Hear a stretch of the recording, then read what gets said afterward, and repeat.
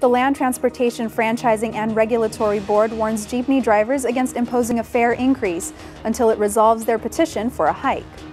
LTFRB Chairman Winston Ginez said the board will be forced to impose sanctions on transport groups that will defy the board's order not to increase minimum fares.